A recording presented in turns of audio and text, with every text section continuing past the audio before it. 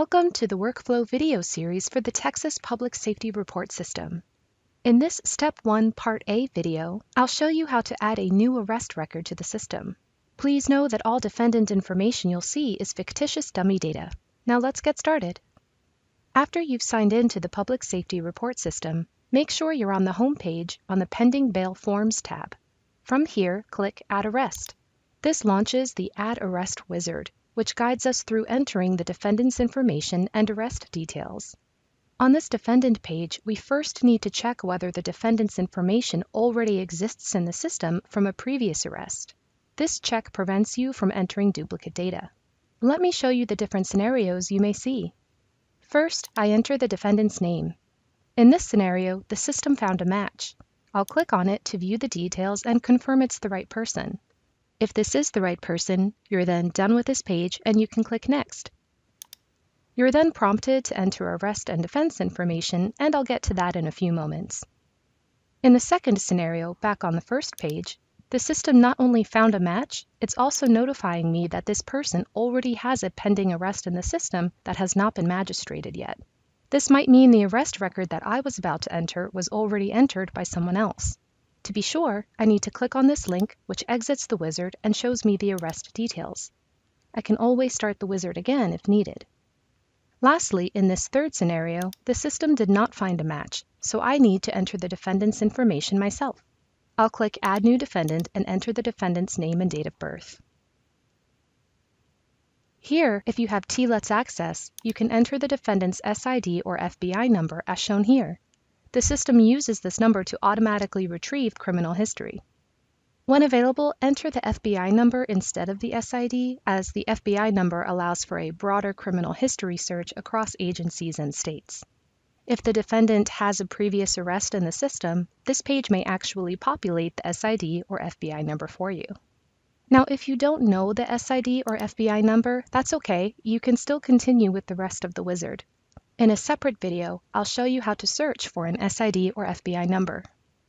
If you do not have TLETS access, you won't be able to enter an SID or FBI number at all, as shown here.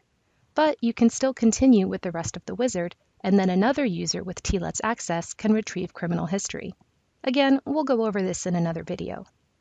Okay, I'm done entering information, so I'll click Next. We're now on the arrest page of the wizard. You'll land on this page regardless if the defendant already existed in the system or if you had to enter their info manually. Here, we'll enter details about the defendant's arrest and offenses. In the top section, enter the cause or case and arrest info. Note that the arrest time is the time of the arrest, not the time of the booking. The county of arrest is the county where the arrest took place, not the county that issued a warrant for the arrest. In this section, we'll enter offenses. Click Add Offense. Enter the offense date and the number of counts of the offense. In the statute field, I can start typing the number or description of the statute, and the system auto-completes the field for me. Depending on the statute, this level degree field may auto-populate and I can't change it. If it doesn't auto-populate, I can click the drop-down arrow and select an option from the list. I'll click Add and the offense is added to the list. I'll repeat these steps to add the remaining offenses from this arrest.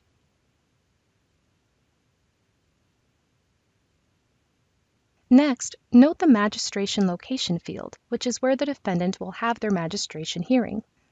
By default, the field displays your current location, but you can change it if needed. If you're not sure where magistration will occur, that's okay. You can leave the default location as is, and then we can update the magistration location later when we complete the electronic bail form. Now we can finish up the wizard. Two scenarios can occur here.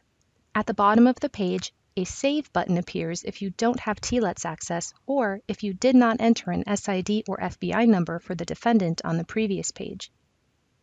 If you do have TLETS access and you entered an SID or FBI number, this button says Save and Retrieve Criminal History. That's the part I referred to earlier when I said the system can retrieve criminal history for you automatically. Regardless of which button appears, click it to save everything you've entered and exit the wizard. The arrest is now added to the system and you're taken to the defendant overview. Join me for the next video where I'll explain more about the defendant overview and its functionality. Thanks for watching.